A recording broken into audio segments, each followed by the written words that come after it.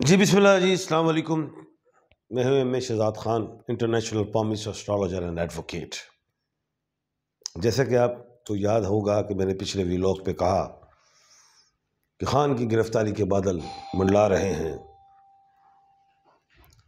Timings बताई। फिर मैंने कहा कि वो हथकड़ियाँ नहीं बनी, जो खान के हाथों में पड़ जाए। ऐसा ही हुआ। लेकिन अब अगर हम गौर करें कि इस्लामाबाद में एडिशन सेशन जज साहब ने दोबारा अपना मौक़ एक ही रखा कि खान को आना है, गिरफ़्तार करके लाया जाए। और दो दफ़ा उन्होंने कहा। पहले भी कहा और अब भी कहा।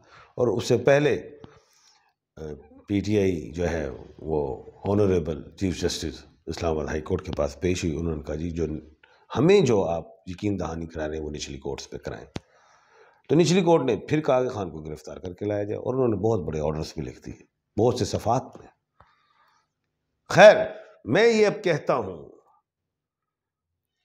टाइमिंग के हवाले से, क्योंकि मैं नॉलेज ऑफ़ सात को भी जानता हूँ नॉलेज ऑफ़ ज़फ़र को भी जानता हूँ एस्ट्रोलॉजी पमिस्ट्री मेडिटेशन हर हवाले से। सुबह नौ से दस खान के लिए बेहतरीन टाइम है। नौ बजे हर हाल में खान के वकला पहुँच जाएँ। निचली कोर्ट के फैसले के खिलाफ जो उन्होंने ऑर्डर बहाल रखा। और मैं ये समझता हूँ कि जो honourable chief justice Islamabad high court वो उनके अब अख्तियारत मज़बूत हो गए क्योंकि उन्होंने नीचे भेजा, उसके बाद वापस आया। अब वो अपने मुकम्मल अख्तियार को इस्तेमाल करेंगे। और उसमें खान को रिलीफ भी मिलेगा, स्टे भी होगा।